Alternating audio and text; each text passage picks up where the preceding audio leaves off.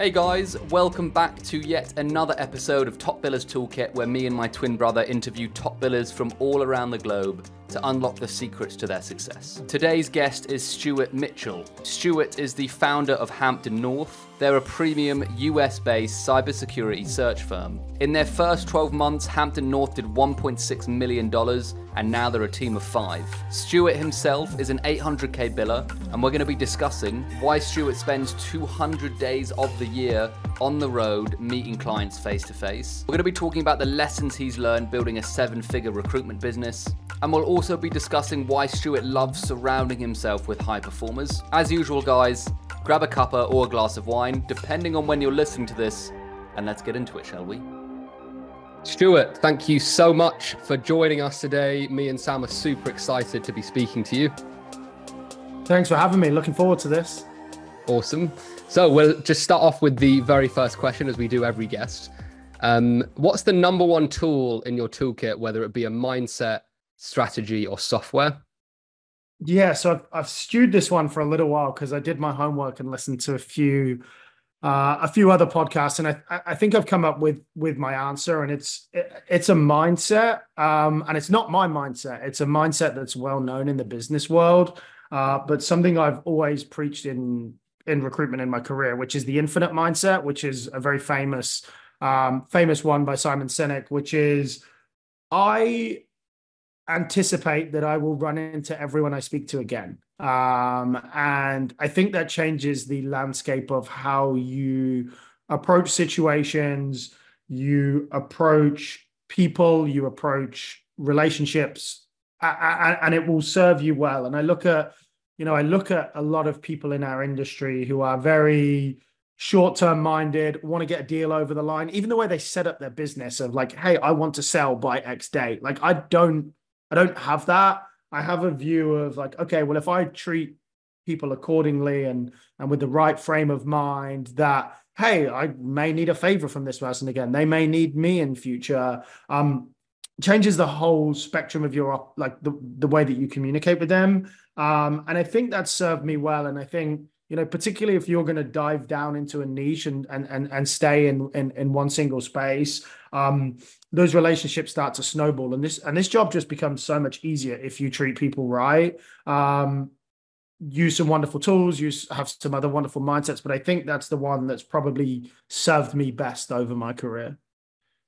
Love really that. interesting. I think that is the common theme between all the top billers is they just have a completely different mindset when it comes to building relationships. And it is, as you say, Stuart, just very long term, um, which is really interesting. So I know that even well before well before social media, Stuart, you were a million dollar biller, which is really impressive.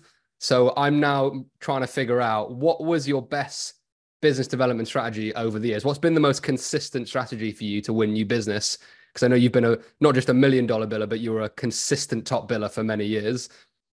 Yeah, so I, I think I think I've always lent into my strengths, um, and and I think for, first things first, and and and people maybe forget about this, but I I joined I joined a really good business who already had a a good reputation, um, and b people were blazing the trail of of, of high performance before. So um, people, I think, particularly earlier in their career, you know, you have two or three decent years, and you think like, okay, well, I'm amazing but being around people who are better than you and with a company who has a good reputation certainly helped. Um, but what I wanted to double down on is is the thing that we go back to, which is the relationships piece. And I was never. I think there's this stereotype that like if you're this big biller that you're this beast that just smashes the phone and you know is like in it like I don't know I have this like optics of like in a suit um I've never been that guy right I've never been a, a huge cold call I've never been top of the dials like that's never been my um uh, been my methodology to the point where I was a top performer at my previous company to even where I was before. Um, I won President's Club. I was the highest performer in the US, and the CEO called me up and he's like, "Hey, you're lazy. If you just made more dials, you could do more." Um, I was like, "I don't think you're getting it. I think there's like maybe um, you know there's there's different ways to do it. And I think that's one of the one of the wonderful things about recruitment is there's not a prescription way um, to to do things. And and my um, you know my approach was always how can i just get in front of somebody like and that that was always my way in of my business development strategy was honestly let's give them enough interest of maybe reverse headhunting or telling them about opportunities or sharing some content or something that could be useful for them um, that could just get me five minutes in front of this person. And, and I have this this this story of a, a CEO of who's now become a friend of mine um, in uh, in Los Angeles when I moved there in 2018, and I was I was trying to build out a desk there, and I was like, look. Give me 10 minutes. That I'll come to you. Let me buy you a coffee. Um, and I can tell you exactly who I am and, and, and how I can make your life better. And then and then I, I, lead on a tangent of questions of where their business is, how they're struggling, what what they're not achieving. But my business development strategy was never like ram product down their throat. It was never, um, you know, how can I make more phone calls? It was what do I need to do to get in front of this person? Because my my superpower was always once I'm in front of someone, I can unpick problems. Um, I, I, and that's the best time to sell, right? And you know, a lot of placements I've made over the years, the roles didn't even exist. It was okay. That where, where's the problem? Almost consultative selling. So that was always my business development strategy. But that doesn't matter if you can't execute, right? So I've always mm. been, you know, a business development strategy is wonderful, but if you can't execute, so I've always been very in tune with my market. I, you know, when I am business developing, I can tell you exactly what a five year security engineer in Seattle who works for a tech company should cost. So I've always had that power of when asked the questions, I have the answers. Again, going back to the overall stereotype of our industry, and I've sat on phone calls where people try and fluff their way through those answers. I find it so painful. Um, mm. So yeah, I, I, think going back to the original question, getting in front of people and then being armed with all of the all of the answers for the questions that your clients should be asking have always been really, really useful for me. Mm. Interesting. I, I've got the feeling that once you're on the phone, it's almost a done deal, Stuart. But I know so many people struggle with that initial trigger. If you were to teach, if a new recruit was to come into your business and they're like, Stuart, what do I do? Is there anything like tangible that you can give in terms of how you would get in front of them, how you would convince them that you're worth the time, if that makes sense? Yeah. Yeah. I think that this is always the biggest challenge is give them a reason to talk to you. Right. Mm. So I'm always looking at my team. I'm like, what conferences are you going to? Like mm. what events are you hosting? Like what podcasts are you listening to? Like what are you what are you doing that can give someone get 30 seconds of attention? Because everyone in our industry is trying to ram product down their throat. Like, mm-hmm. hey, I've got this amazing candidate. Let's go, perfect candidate, whatever, whatever it is. Um, what can you do to get interest, even to the point of if I, I, say to my team, I'm like, go to this conference, could be a rubbish conference, but then you can reach out to 100 people in the network saying, hey, you're going, oh, no, I'm not. Okay, well, I would love to grab coffee with you next time. Or, hey, I'm going to be in San Francisco like in two months. Like, what do you, when should we get together? Because again, it's the, um, giving yourself a reason to reach out that isn't very selfish because that's what product is right? And and again like don't get me wrong there is a a world where sending a world class candidate to make a business better is not selfish but it is right? Like you're trying to get a deal like let's not be stupid we're all trying to get a deal done. And even my intentions long term to create friendships and relationships with these people is is to further my business. I'm not naive to that um, but having something to reach out with, whether it is an unbelievable article they've read, whether it's a, a mm. meetup, whether it's a controversial take, um, mm. whether it's something they've posted or a podcast they've been on, um, I think it's just about having a nugget to to get in. Um, mm. Because you're right, like when we can get in front, our ability to to close is is is, is second to none. I, I would like to think, but it's having that little bit that is, you know, the the, the tiny reach out that is not so obvious in its method um, and more so like hey i would love you to read this. I loved what you just said about you know it could be a cybersecurity topic it could be a human capital topic whatever it could be. Um, and those are the best reach outs to spark engagement. So every every week I, I when, when doing kickoffs with the team i'm like okay what are you listening to? What event are you going to? What are you hosting? Like uh, i'll give an example. Like we were just at a big event in san francisco. It's free reign to reach out to everybody. Um, we're hosting an event in florida next month. Everyone in florida it's like hey do you want to come to this? Okay what should we be talking about? Um, and then one of my team is at two very big events in the next month. It's such an easy reason to reach out. Mm. once the dialogue is flowing the conversation just becomes so much more natural. That's mm. really interesting Sorry, Ben, can I butt in? Because yeah, sorry, I know. Go ahead. what was the So that's really interesting, Stuart. Is I completely get that. It's having a reason and almost like a trigger in order to speak to the client and and have an interesting point of conversation. What reason did you find was most successful for you? Was there one that was always getting more conversation started when you put that reason in front of them? Yeah, so I think the the first thing that I used to do is like, how can I serve their career, right? Mm. And this mm. was, you know, there were less less events. It was, you know, nine ten years ago where I think I really started to kick on. It's like, okay, well, I want to be that go to person when you're looking to make moves, when you're looking to make strategic changes. Like, how can I make your life better? And I think mm. if someone says that to you, right, like, uh, like let me grab a coffee, like let me buy you lunch and mm. find out how to make your life better. Um, okay, like fine, I'll take the free lunch. And worst case, you suck and I get a free lunch, but is what it is. Yeah. Um, best case, you know, you find a way of like, okay, well, if I had this opportunity with this company, would you be interested? Okay, where is your journey going? Like, how can I help you? What does your CV look like? So I think that building a relationship where you have best intentions with a very senior network even if even if you look at it and you're playing the long game right and i think this has been very useful for me is like i used to play that kind of like second tier but almost like stocks right? I could see these people I, i'm like you're going to run a program in three years. You're going to run a program in five years. Like i can mm. see it um, and I'm like, okay, well, I want to stay super tight to you, even maybe place you once or twice on the way. And if not, like tell you, like, hey, you should probably go work for Facebook for a bit. I don't work with Facebook, but like, you know that from a resume equity perspective, that's going to push you into your next your next level. So mm. that that was always my go-to. Again, if you're not powered with the knowledge, it doesn't doesn't matter. Um, yeah. but it was always okay. What what can I do for you? Who can I introduce you to? Like, how can I help?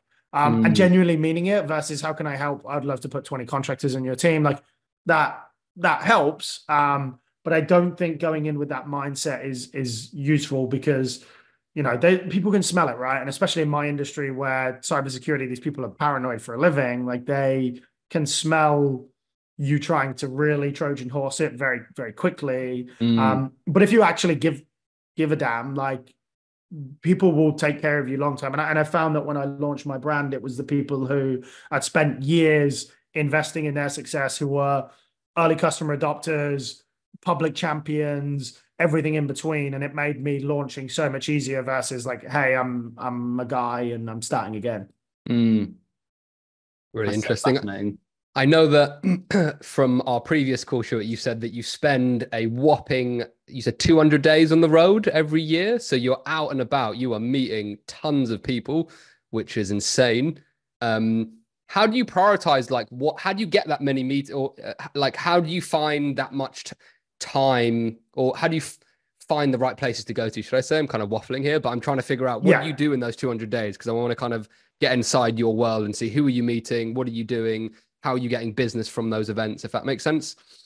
So I, I think the the first thing is there's events that I simply have to be at for optics sake. Like I did this very deliberate thing of creating a loud persona in my industry, which is means I have there's a lot of things that I have to be at from a face perspective. So um, and last week, as, as an example, I was at RSA. It's a big one. I ran, you know, running down the street, I run into a lot of people, and and it's great. And it triggers conversations of like, hey, you know, we're actually thinking about setting up a a, a new team in in Europe. Uh, what does your European presence look like? Okay, we just hired a guy in the UK. Like, amazing. So these conversations happen. Um, but I think it's that, and, and this really took care of me last year when it was a very difficult, like it, last year was a difficult year. Like a lot of people struggled last year. Mm. Um, it's like, hey, well, we're thinking of hiring someone. Cool, you're in Chicago. I'll be there tomorrow. Like, let's talk about this. Let's get lunch. Like, I am not a transactional person. I will get on a flight. I will jump in the car. I'm equidistant. Like, if I need to be in New York or Boston this afternoon, I can be. If I need to be in California on Monday, I, like I will be. And I think we got very comfortable behind a laptop, right? We got very comfortable behind Zoom. Um, and because there was a plethora of business in 2021, 2022, we got too comfortable, right? Mm. And most of the job that I enjoy is interacting and uh, uh, meeting with new people. And look, is it is it tiring? Yeah, like last year I was so I was the most tired I've ever been. That gap between Christmas and New Year, I, I slept. That's, that's all I did because it was a, a tough year. And you know, am I planning to spend 200 days a year on on the road this year? Probably not. As the team grows, you know, I want to send you know, I want to send small armies to go and and, and do that work and, and keep going. But last year was very much startup um, startup mode. But if you can't go, if you don't have the um, the willingness to go and sit down with your customers, look them in the eye, and say, hey, like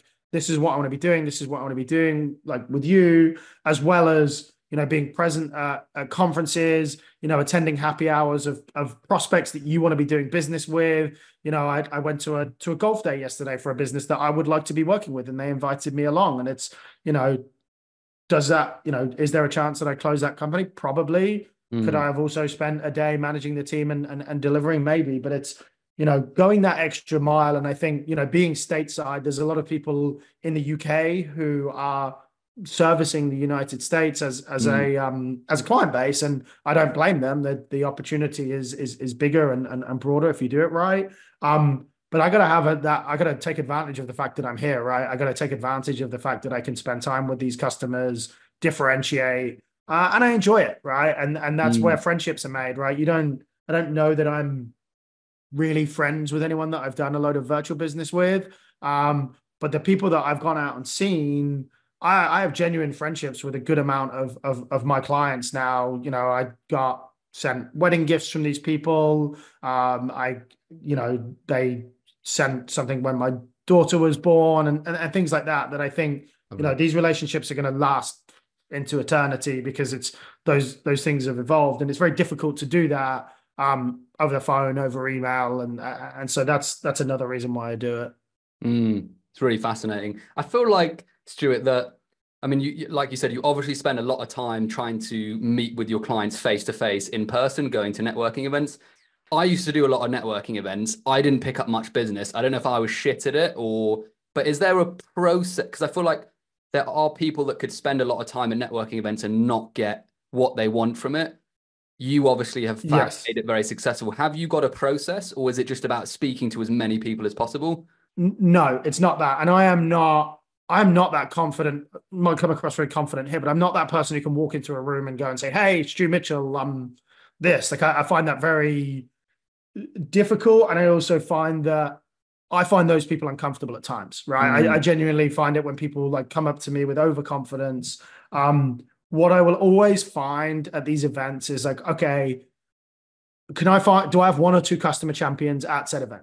And if I gravitate towards them, who do they know that they can introduce me to? Because um, again, going back to your point, I think once I start a conversation, I'm very comfortable and mm. everything starts to happen very naturally. Um, but I'm not someone who is like I'll go up to every every booth, every speaker, and say, "Hey, tell me mm. about your business. I'm desperate to work with you guys." Like, don't get me wrong. If there's a client that I'm laser focused on, um, there's a big bank in the US, and uh, one of the guys came up to me, and um, he he was like, "Hey, Stu, I've, I've seen your stuff on LinkedIn, and we can obviously go out in a little bit." And I was like, "Yeah, I'm trying to work with you guys. I've hit up everyone. Like, what the heck is going on?" And I'm I'm tapping all you guys on the shoulder. Um, so there's there's obviously a you know a deliberate focus like let's say for example you want to work with american express and they're hosting an event you can have a little bit more purpose but what i've always found really useful is having one or two like crutches that you can immediately go to and then you know hey you need to meet jim and you need to meet sheila mm. and you know you need to meet pradeep and and these people all come together and it's it becomes a little bit more natural that has always worked for me i find it I'm not super comfortable walking into a room entirely alone. Um, mm. Um, and I don't know that I ever will be where I can just kind of bulldoze and become that, you know, and, and I envy those people. I think it's such a wonderful skill set. Mm. Um, but I tend to be a little focused on, okay, who can spread my story better than me? Because that's so much more powerful. Mm, it's really interesting. Cool. That kind of puts my mind at ease because I thought you were one of those guys, Stu, that could just walk. In. Wish I was. but you're still making it work really well. So that's really that's really fascinating. And you obviously it sounds like you have particular clients that you like to work with, Stuart. How, how do you prioritize the best clients? How do you like when do you how do you what's the tick list for like really good clients for your business, do you think? So I learned I learned a wonderful saying from one of my old bosses, which is my currency is commitment. Um, and commitment comes in very different ways in terms of it can be financial, it can be time, uh, it can be energy, it can be even just the the way that they communicate with you. Um, so I think the, the, the most important thing for me is I have a committed client. I know if if somebody's committed to me, we'll get there in the end. You know, the journey is very different for very different customers. I will say there's some clients that I've worked with that I can flex, right? And that, that uh, are wonderful for my pedigree. Um, but they may not be the businesses that I've made the most money out of and, and had the most success out of. So for me, it's a business who is committed to the, our partnership. We're not just uh, okay. Well, we'll use those folks because we're stuck. Like I want people to be excited about working with us, um, and I use this kind of. I, I, want my business eventually to be like a, a Bain or a BCG or whatever. It's like, hey, we were we're pumped to bring in Hampton North to fix a problem that we have. So we like those types of customers who know that we'll get it done for them. Um, the second is somebody who takes hiring in cybersecurity seriously. You know, my reputation and the Hampton North's reputation is not around pissing off our candidate pools, to be perfectly honest. Like we're not going to make mm. them jump through eight stage processes to get an under offer. Like I'll, I'll happily fire a client if we get to that point. Like I don't mm. want people messing with with my reputation. And I think that's something that's not I, I'm sure it's a theme of your high performers, but it is not a theme of the entire industry. Um, in that I don't need to work with everybody. And it's, you know, I've been I've been on client calls of like some of the biggest financial institutions in the world where I'll give very clear feedback that your process is too long, your compensation isn't great, and you mm. don't have a great reputation. And rather than take that feedback, they'll say, Hey, well, we don't want to work with you then. And it's it's fine by me because I can't I can't fix those things unless mm. you let me in. Um, and so I really need somebody to let let us get under the hood of of of what's going on. Um, and then, I mean, we've we have some wonderful stories. We have some wonderful case studies of you know placing teams of of, of twenty in six weeks, and you know hiring for some of the biggest executives for some of the biggest tech companies on the planet. Um, but it's all about letting us in, and you know if if they don't commit to us and they don't give us the access that we need, it's never going to play, even if they're the coolest company in the world. Like we have a, you know a couple of hedge funds that we we've signed with who pay wonderful packages you know, wonder, you know, potential huge recruitment fees that are very lucrative, but they won't let us in. And I mm. say to mm. the team, I'm like, and they're like, wow, well, we could do 100, 150, 200K fee. And I was like, you're going to spin your wheels because they won't let you in and you're going to end mm. up pissing off your client, your candidate base because um, you can't get the feedback that you want. You can't get the, you can't get the news that you want. Or even when you do get the feedback, it's not the, the granular level of feedback that you and your candidates appreciate. Um, and so for, for us, it's mostly, it's less so about like having a very specific defined ICP of like, hey, we only work with Series D, they're going to IPO within 24 months. It's more about businesses who give us the access, who resonate with our candidate pool and the way that we're going to approach them, um, and that can, you know, can pay essentially. Yeah, I love that. I feel like if more recruiters were more strict with the clients they bring on, they would have a happier and easier life. And I love that you have the guts to turn away bigger clientele for the sake of your reputation and just to have a uh, an easier and better process, uh, Stuart. So I love that. Um, I would love to talk about. Um, you mentioned you like to be around excellence. Um, what do you look for in other recruiters uh, to see if they're going to be a good fit for your environment specifically, Stuart? Yeah, that's a that's a good question, and I think a lot of it is how they conduct themselves. Um, pers- like personally, I think there has to be, you know, the way they interact with, like the way that we interact internally. I, I think spreads a message. Mm-hmm. Um, but I also I think the, the good thing is we've hired from within our own industry, right? So we've hired from um, from the cyber cybersecurity recruiting industry. So I can pick up a phone call and I can say, hey, like, uh, how have you felt these interactions with said person? Said person has has been, and you know, the reason a, a number of my team have, have, joined is like I was sick of losing to you. Like I, I was mm. sick of coming up against you as competition, and so I wanted to see what it was about. Um, and so that's that's something that's super important, and I think something that we're now, you know, we have a we have an expectation where, and we're not quite there. I think last year we were like probably 12% shy. This year we're running about 20% shy. I want a $600,000 a head recruitment business, which is a lot, right? It's really mm. high. And I've I've been there. I've run a team that averaged that and it was of course it was in good times and and, and whatnot, but to me that is the standard and that is mm. part of what we're trying to build here and i use the use the 300 analogy of um, if you can't hold your shield to the and the person you're risking the, the reputation of the person next to you. Yeah. um, and i won't take that. Now the the traits in themselves like we don't have a prescription method of doing business. Like i know some businesses are like this is our nailed down sales process right? We send three you know we go through a spec and campaign. I have some people who are wonderful at cold calling right? I have some people who are masters at specking. I have some people who are brand you know personal branding wizards there is not a prescription method of how we operate but there is a mm, prescription method of how we communicate. There is a prescription method of how quickly we turn searches around, how we communicate with our customers.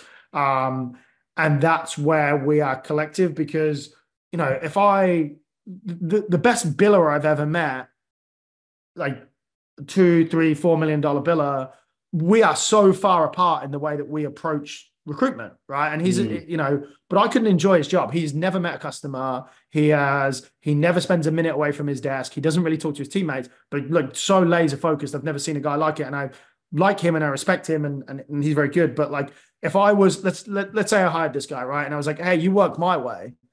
Stupid, right? What a waste of, what a waste of potential. And I think, mm. You know, it's, it's very different because we hire experienced recruiters who have found their way I think mm. it's very difficult, different when you run a early career or career changer or grad process where it's like, hey, we do it this way, um, and this is how we get results. Um, I think I think what I like to see is okay, find your find your way. Um, and then if I if it resonates and it still means that you treat the community with respect, your teammates with respect, clients with respect, and you find a way to get it done, that works. Mm. Yeah, that's really interesting. Sorry, Ben, go ahead. No, I'm just saying, it's, it's, what I'm getting from that is there's not one way to do it, but they all have, they've all doubled down on one thing and got exceptionally good at that. And yes. you kind of welcome it, which is really interesting. Um, yeah. And I look, I, I look I think like we have this obsession of people being this like perfectly well-rounded recruiter, right? If you go through L and D, and I remember going as as a high performer, like going through L and D, and I was like, they were like, Stu, well, you, you should try this. And I was like, well, I'm not very good at it. Like I've, I've tried it. And like, I know that it's a blind spot. And, you know, you look at, you look at some, some sports players, right? It's like, okay, well, in basketball, you've got a seven foot four guy who can't shoot three pointers. So just doesn't shoot three pointers, right? Or, you know, I was, I was a cricket player and my dad was like, Hey, you, good batsman, but like, don't play the pull shot because you get out. So just don't play it. And, mm. you know, the, the reality is, you don't have to do everything if you can double down on what you're excellent at. Look, mm. does it help to have multiple revenue streams? Like e- even if you're, you know, uh, I look at personal branding as an example, right? We have a couple of people who are very new to that.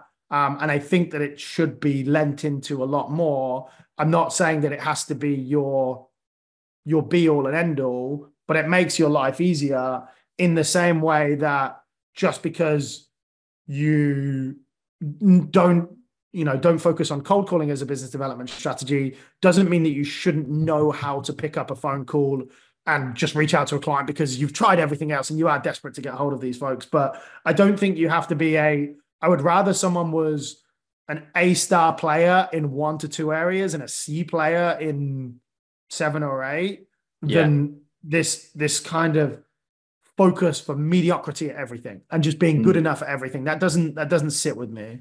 Mm. Yeah, makes sense. Sorry, sorry. I get a common theme uh, from the way you speak, Stuart, and, and, you just openly saying it is that you know you like to be a, around excellence. People who are mediocre or don't put enough effort in frustrate you a little bit. have you have you noticed a common theme between the recruiters that um, perhaps aren't achieving what they want, what they're doing wrong? Is there like a common thing that you see that recruiters are doing wrong that could be getting them more money, billing more, and just being better recruiters?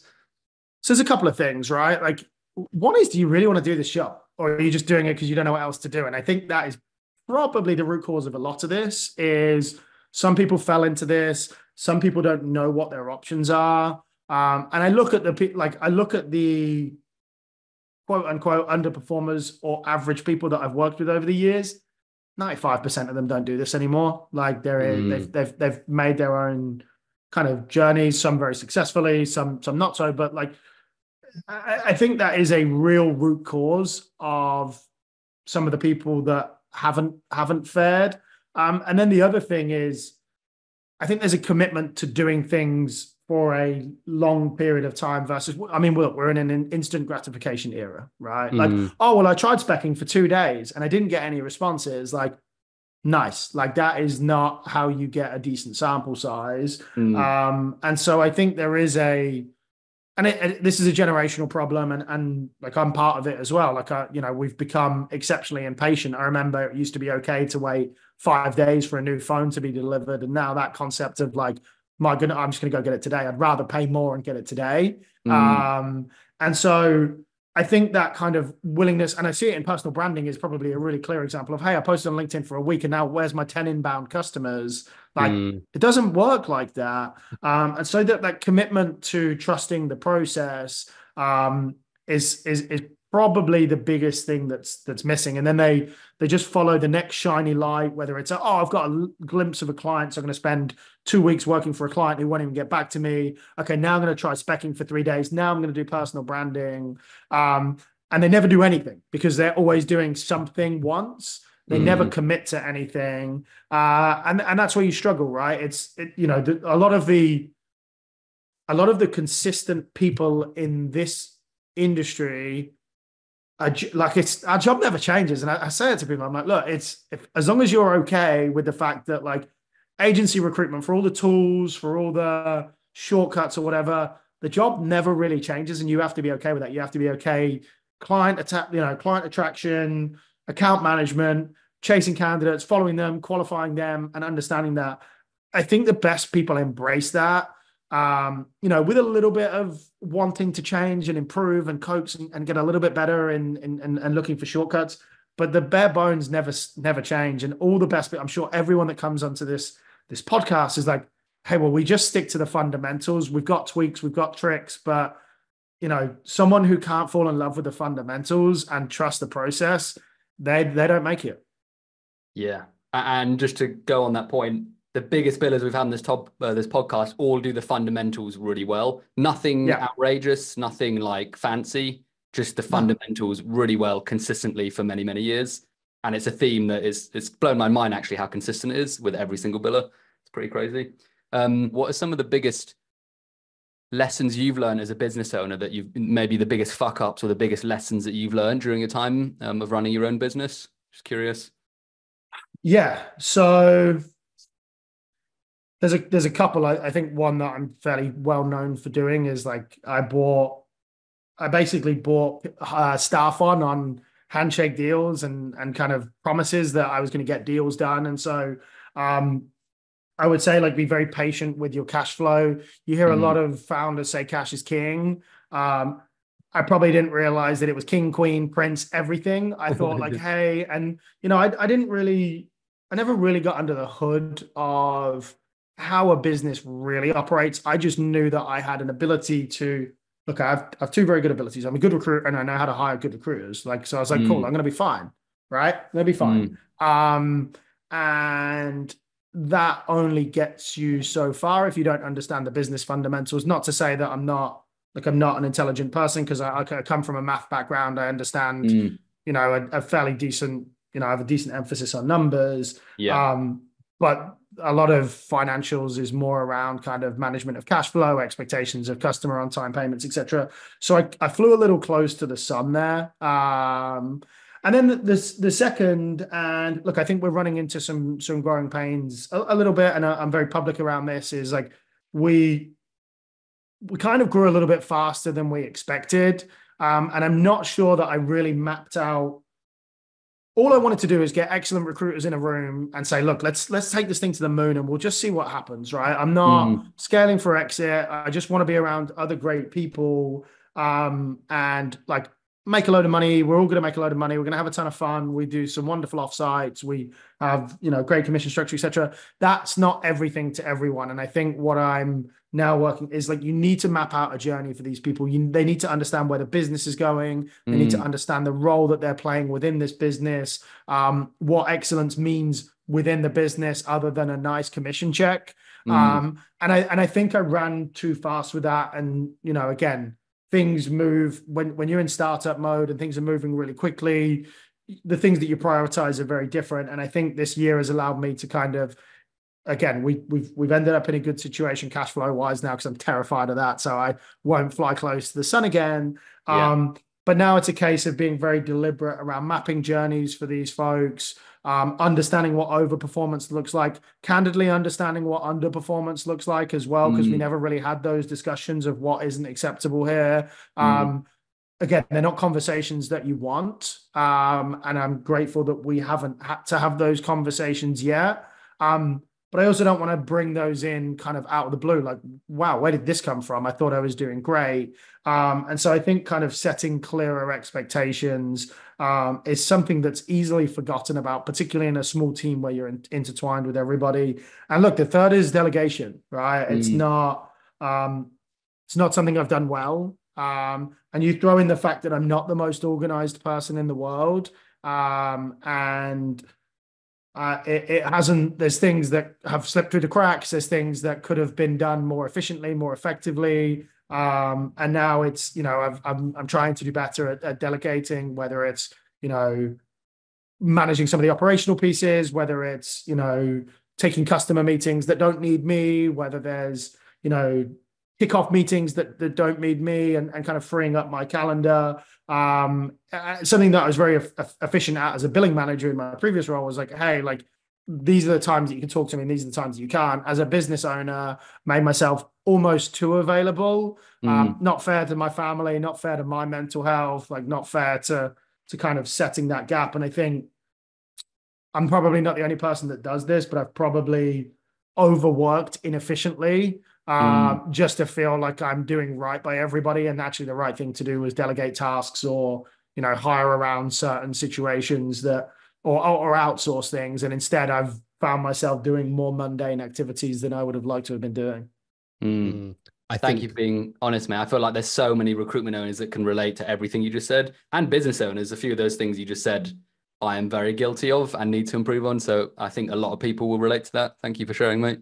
Sorry, Ben. What you yeah, I was going to say, I think if there was, because I think delegation is a really, a lot of the recruiters we speak to uh, as well, I think uh, struggle with delegation just because they are, you know, either high performers or workaholics or just love their job or, you know, a, a variety of the above. If there was one thing that you think you could delegate, if, if there was like the 80 20 rule, Stuart, if there was one thing you could delegate uh, that would make the biggest difference, what would that be, do you think? Um, so I'm in the process of this, but anything operational. Mm. Um, so even even to like managing offsites, managing our like managing our website, managing anything that is not to do with customer facing activities at this point and mm. hiring. They're the two things. Like if I could look at what should I be doing more of, it's customer facing activities, hiring for Hampton North. If I could just do that and allow everything else to happen in the background, we'd be in such a good spot. Mm. Um, and I think, look, I, I do think longer term there is a role for a COO or an MD or someone who is, you know, very focused on, you know, doubling down on our data activity, running, you know, how active are our, is our candidate pool, um, you know, what movements are happening a, a little bit more granular. And I worked so closely with somebody like that in my previous position, and it was we yin and yanged, and we definitely lent into each other's blind spots, which I've definitely found like, shit, I wish that I'd spent taking some more from him, and, and maybe he probably feels the same way. Um, but if I could spend all of my time doing customer facing activities and recruit recruiter facing activities and uh, like honestly having everyone else take care of everything else um, even to the point of like granular management of the team right? I don't i don't claim and, look what's what's amazing is like the people that have worked for me have you know we still keep in touch. I have wonderful recommendations from but i don't know that i was this born man manager people manager. I think some people are born into it.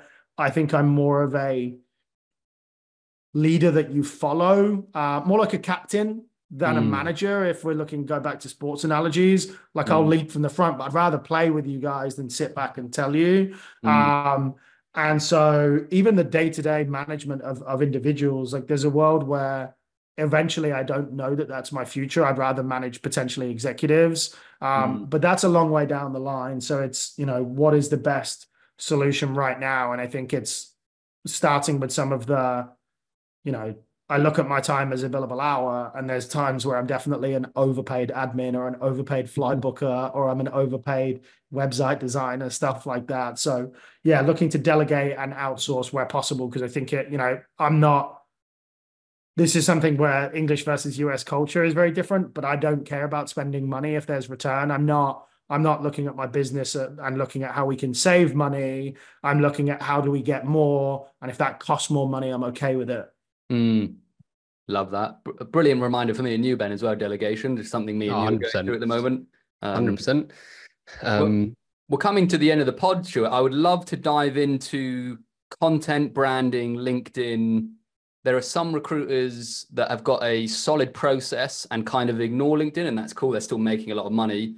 You obviously had a solid process before posting, is my gut feeling from what you said. What made you want to start delving into the world of LinkedIn and building your brand online? Was it was yeah maybe i'll start with that yeah so i'd kind of seen other folks do it with some success and then it was just like well, why, don't, why don't i just tell everyone what i'm up to right mm. like and i don't care if everyone cares or not like but i'm working on some of the best opportunities in the world i'm working with some of the best candidates in the world i'm speaking to some of the most interesting people in the world at least in our domain right um yeah. why don't i not just make a narrative out of this and I think it started with a whole lot more rigidity and structure.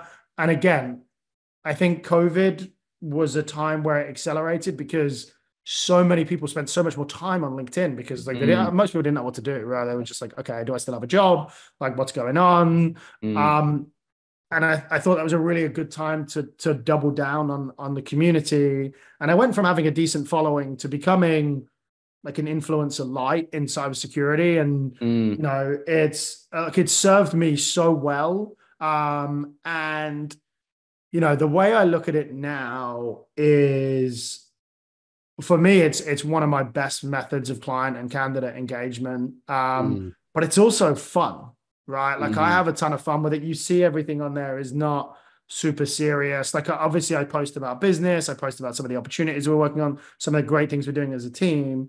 But like I give people an insight into my personality as well because, you know, I don't want to work with everybody. I don't want to work with someone who actively dislikes the way that I see the world. Um, mm. It's just not that fun, and I don't need the money that much. Um, mm. I would rather have fun with the people I work with that, like, you know, again, see, again, I'm not looking at people clones of me, but like respect my opinion and respect you know the way that i do things and you mm. know a mm. lot of the clients are like hey i love the way you do this and you know i know you're going to post this and have a bit of fun with this and and we love that and that's why we're working with you um but it i, I would say look it started very early uh, in more of a structured um really mega focused in the same way that like if you start a workout routine um, you need structure, you need focus, you need reps.